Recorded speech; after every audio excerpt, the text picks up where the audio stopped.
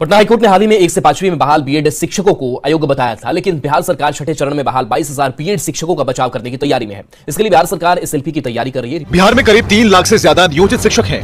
इन तीन लाख नियोजित शिक्षकों में से बाईस हज़ार नियोजित शिक्षकों को तब तगड़ा झटका लगा, जब पटना हाईकोर्ट ने बीएड पास नियोजित शिक्षकों को अयोग्य करार दे दिया। अब बिहार सरकार इन बाईस हज़ार शिक्षकों के बचाव की तैयारी कर रही है। बिहार सरकार इन शिक्षकों की नौकरी बचाने के लिए सुप्रीम कोर्ट जाने की तैयारी में है। शिक्षक बहाली के इस मामले में बिहार सरकार एसएलपी की तैयारी कर रही है। सरकार छठे चरण में बहाल, बाईस हज़ार बीएड शिक्षकों का बचाव करेगी। आपको बताया कि पटना हाईकोर्ट ने हाल ही में एक से पांचवी में बहाल बीएड शिक्षकों को अयोग्य बताया था। हाईकोर्ट ने कहा था कि राज्य सरकार को नियुक्ति मामले में फिर से काम करना होगा। आदेश के बाद बहाल शिक्षकों में हड़कंप मच गया। सभी को नौकरी जाने का डर सताने लगा। शिक्षा विभाग नहीं चाहता कि बहाल शिक्षकों की नौकरी जाए, इसलिए अब हाईकोर्ट के फैसले को सुप्रीम कोर्ट में चुनौती दी जाएगी। बिहार सरकार की सच्ची मंशा से उन बाईस हज़ार नियोजित शिक्षकों और उनके परिवार के लोगों को नौकरी बच जाने की उम्मीद जगी है।